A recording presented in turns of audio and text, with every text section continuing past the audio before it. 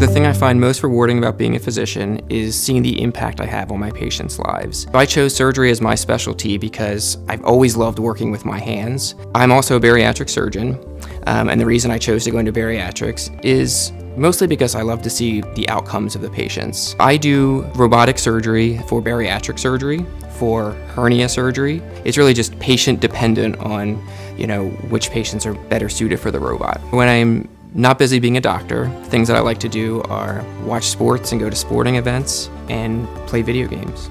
I do a lot of robotic surgery and some of the skills and techniques that you learn with video games, a lot to do with hand-eye coordination, really does correlate with robotic surgery. With robotic surgery, you use two hand pieces, but very similar to a controller, and you're able to control things that are basically on a screen, actually inside a patient's body, to do the surgery.